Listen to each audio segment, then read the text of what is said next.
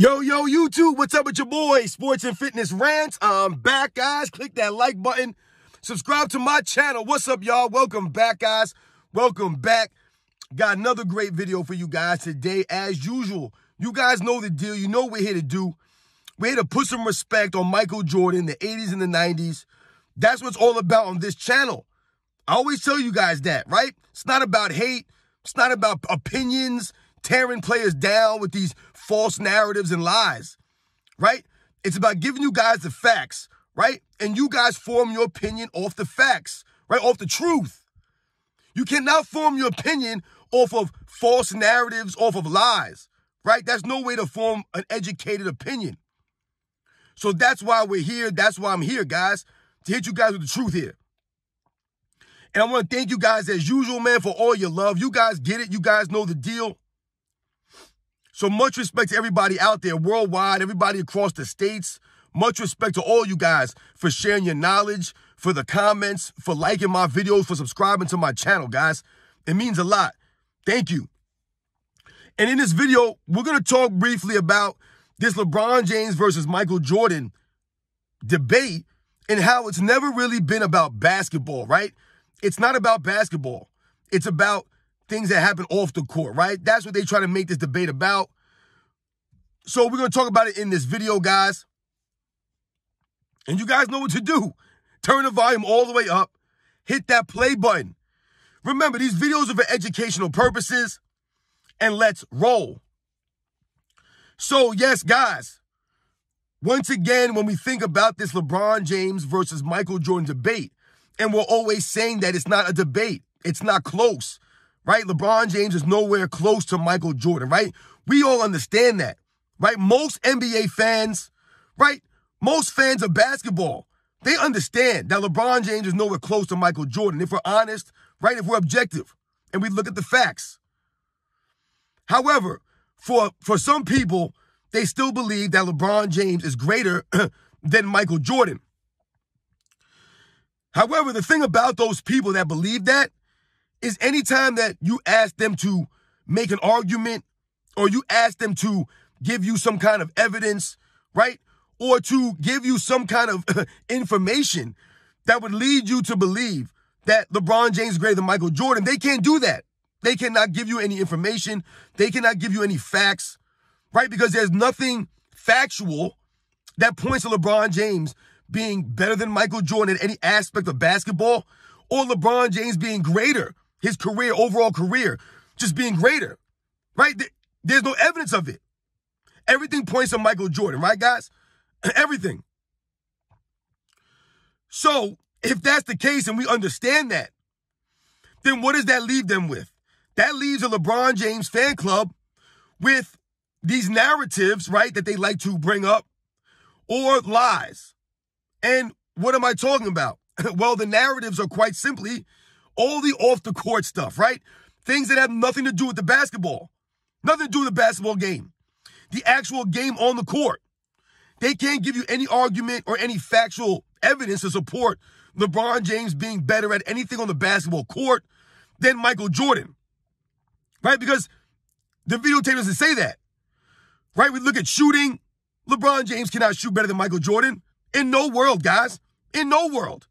I don't care what his shooting percentages say. We know why that is. LeBron James also has a, a better shooting percentage than Larry Bird. Are, are we going to believe that LeBron James is better shooting than Larry Bird? No, right? And he's not a better shooter than Michael Jordan. Not even close, right? Not even close, right? We think about LeBron James not having any kind of mid-range game, no consistent jump shot, right? Look at the free throw shooting from this man right? Airballing all the time. The inconsistencies, right? Because he's not really working on his jump shot, and the evidence is there in the videotape. If you guys need a shot at the end of a game, who you taking? Michael Jordan, LeBron James, right? It's not even close, guys.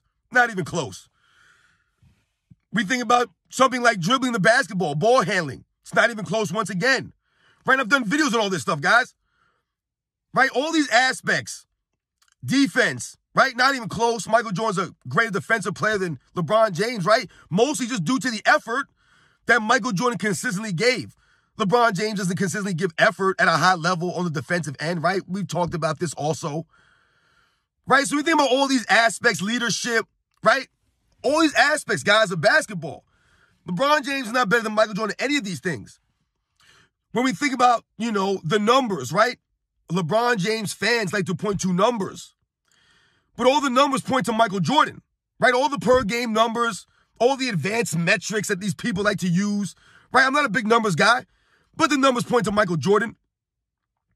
We think about the accolades, right? Same thing, the accolades, right? We've talked about this also. LeBron James, right? The bar is lowered for him, right? He doesn't have to accomplish as much as Michael Jordan did in his career to be seen as greater than Michael Jordan. He doesn't have to do that. Right? The accolades are not there. He can't match Michael Jordan accolades. Right? The winning, the winning is not there. He hasn't matched, matched Michael Jordan winning. But once again, the standard is lowered for LeBron James, so he could be seen as greater than Michael Jordan without having to win as much as Michael Jordan, right? Losing way more than he's winning, right, guys? So, what does that mean? That means that the arguments have become, right, narrative based, and they become arguments based off of things that have nothing to do with the basketball game, right? They'll bring up LeBron James's charity work as to why he's greater than Michael Jordan, right? These are things you'll hear. They'll talk about all these nonsensical things. They'll talk about how much pressure LeBron James deals with, right? They try to bring that up as a reason Right? They try to talk about all these things. They try to bring up social media and LeBron James playing in the social media age as, you know, a reason why he's greater than Michael Jordan, right? It's harder for him to play in this era, in this age, with all the, the criticism and all the people like me out there making YouTube videos and TikToks and Instagram posts and all this stuff. This is what they argue makes LeBron James greater than Michael Jordan on the basketball court. This is why we laugh at this stuff, guys, right? This is what they try to do. These nonsensical reasons. Because they can't come up with a good reason because there is no argument. There's no argument in the world, right? That you can give that shows or proves that LeBron James anywhere close to Michael Jordan, right? In the all-time rankings. There just is no argument. I told you everything points in the opposite direction that LeBron James is nowhere close to Michael Jordan. That's what the numbers indicate, right? That's the videotape shows us when we watch the game. So, because they can't make it about the actual facts, right? They try to make it about off the court stuff. What else do they do? What else do the LeBron James fans do during the Michael Jordan LeBron James go debates? What they'll often do, and you'll hear this all the time, and this is why we make these videos, this is why we get aggravated is that they'll start lying and they'll start tearing down Michael Jordan, right, in his era. This is what the LeBron James fan clubs love to do. They love to do this. And only the LeBron James fan club does this. I've told you guys, I've never once, as a Michael Jordan fan, as a fan of basketball, ever felt the need to tear down Magic Johnson or Larry Bird or any of the other all time greats, Kobe or Tim Duncan or Dr. J or Bill Russell or Wilt Chamberlain, any of these guys.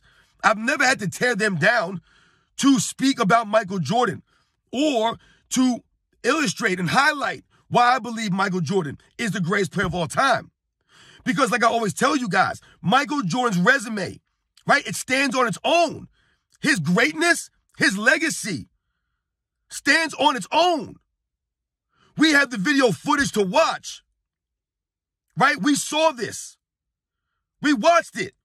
That's why all these years later, when people try to lie and change up the narratives, right? They're trying to rewrite the history. We don't, we won't allow this. Right? Because we know it's not true. We know it's lies. Because we watch this stuff going up. But this is what they do now. They'll tear down the entire decade, the entire era of the 90s as weak, watered down, right? These guys were plumbers and taxi cab drivers. They weren't that skilled, right? This is what you'll hear them say about Michael Jordan's era, right? Because they want to tear it down so they, they, they can explain Right? When people say that Michael Jordan was 6 0 in the NBA Finals, their explanation for that is because he played against nobody. Right? His competition was weak. You'll always hear that, right? Who did he play against? Michael Jordan didn't play against anybody. They'll say the same lines over and over again. Right? To excuse LeBron James's losses, right? They'll make excuses for his losses. Right? Oh man, he wasn't the favorite. Oh, his teammates weren't that great. Oh, this guy was hurt. Right? They always have an excuse. Michael Jordan never needed excuses when he was losing against the Detroit Pistons or the Boston Celtics. There were no excuses given. Right? I told you they didn't blame Scottie Pippen in 89 or 1990 when they easily could have. Right? They didn't blame Horace Grant or some of these other guys, Bill Cartwright, for not showing up and performing, leaving Michael Jordan out there by himself, essentially. Right? There were no excuses made. Michael Jordan never pointed the finger at these guys when they didn't show up. Right? And he had to carry the burden. No, he took it on the chin like a man. That's the one thing LeBron James has never done. He's never taken it on the chin. Like a grown man, he's never taken the responsibility and put it on his back. He's never done that. Right? When things got hard, he pointed the finger. Or he ran away. Right? When the going gets tough, LeBron James gets going. He just leaves. He's out of there. He's proven it to us time and time again. So when they speak on this debate, they always must tear down Michael Jordan to lift LeBron James. That is not how you debate. That's not how we should be discussing this. You speak for LeBron James. He must stand on his own resume. Everything that he put out on the videotape that we have to judge him off of now, that's on him. Right? We have the videotape.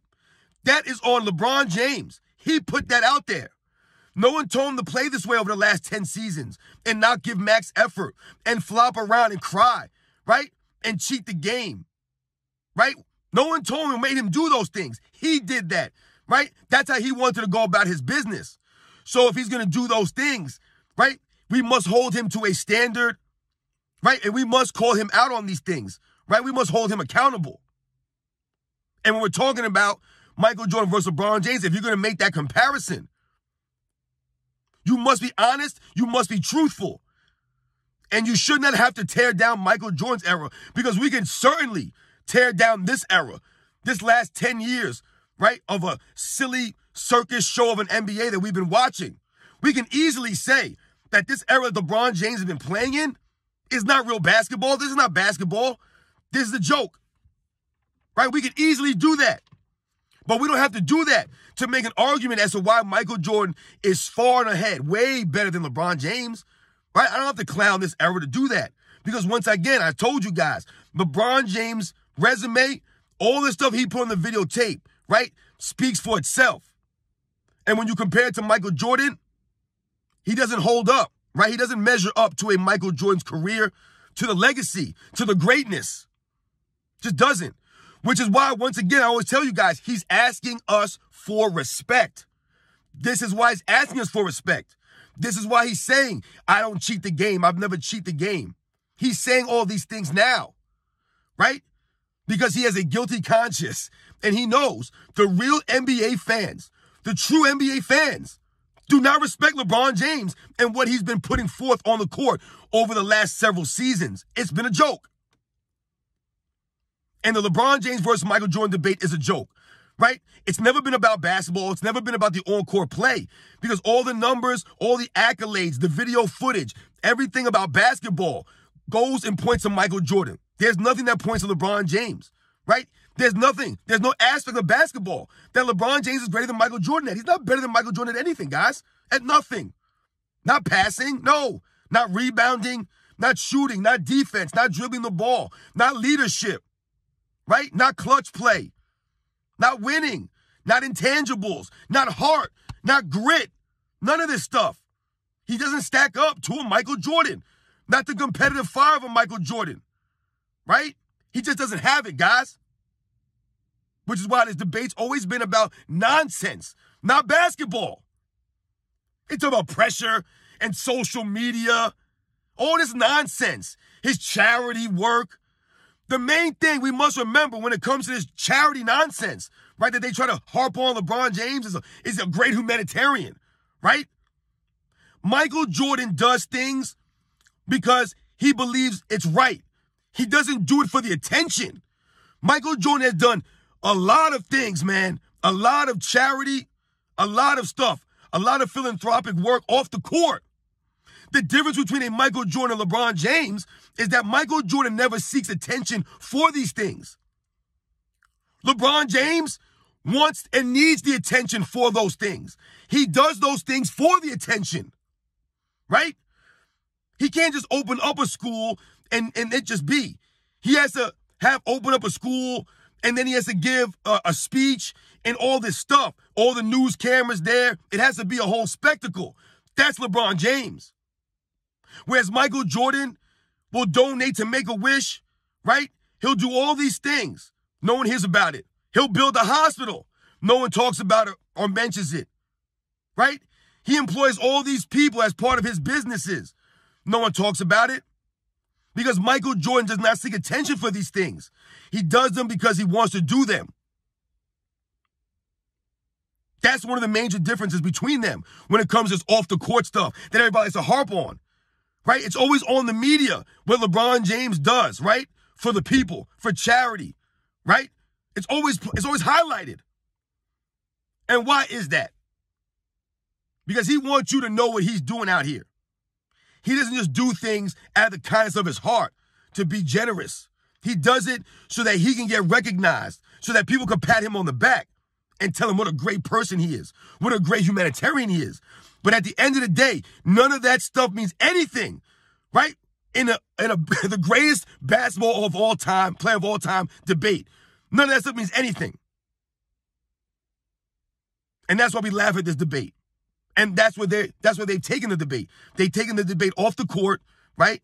And they've proceeded to just try to tear down Michael Jordan's era, right? As if it was nothing. Right? Basketball just started over the last 10 seasons. That's when NBA really got good. That's what they want you to believe. Everything before 2010 means nothing. Means nothing. LeBron James' losses in the finals, they mean nothing. The video footage that he puts out of him standing with his hands on his hips, blowing on his hands, right? Not hustling back on defense, pointing at teammates, flopping around. None of that stuff means anything to these people. That doesn't matter in the GOAT debate, right? Him not having any respect, that doesn't mean anything to these guys. Because LeBron James fan club will always respect LeBron James and his shady ways and his nonsense, his antics, and his narcissistic attitude. You guys know the deal, man. It's all about the facts here.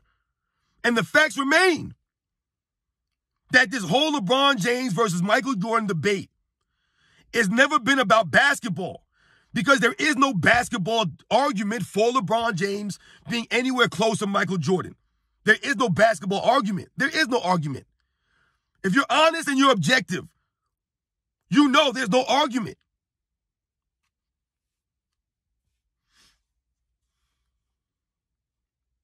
You guys know the deal, man. You guys know the deal.